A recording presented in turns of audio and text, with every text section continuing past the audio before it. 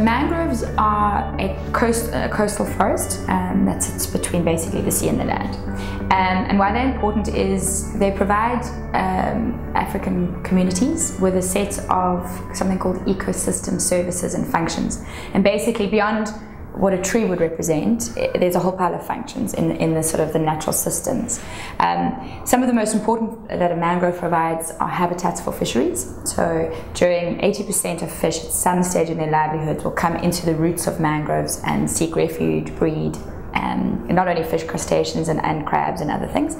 Um, uh, mangroves have an ability to sequester carbon dioxide, so from a climate change perspective, they're very important. They protect the coast from sea level rise, from disaster risks. So they're natural protection. So if, if a country is making a decision to build a wall or maintain its mangrove, it has an, an economic function that it, that it, that it provides. Um, anyway, and there's a multitude of different, it's obviously aesthetic um, from a tourism perspective.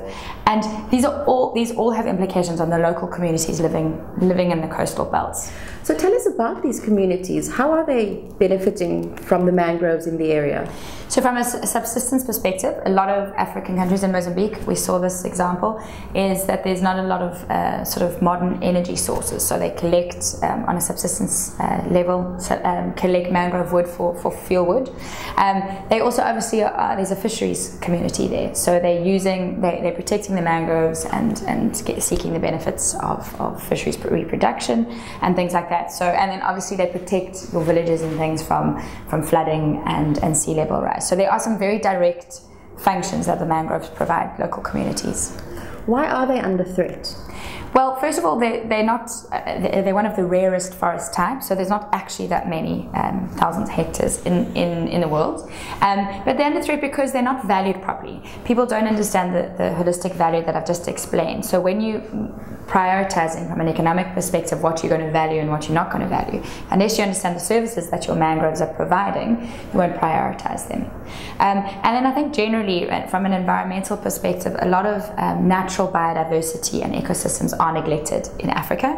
People don't see the direct impact that the that these systems have on, on livelihoods and on people and living in the vicinity. So how do we protect and conserve mangroves? You can refer to my report for the for the larger detailed explanation um, but there are a lot of tools and mechanisms that can be used. For example, some countries have actually legally protected mangroves. They've said that um, beyond a subsistence um, uh, use. They can't be commercially used without permits, for example.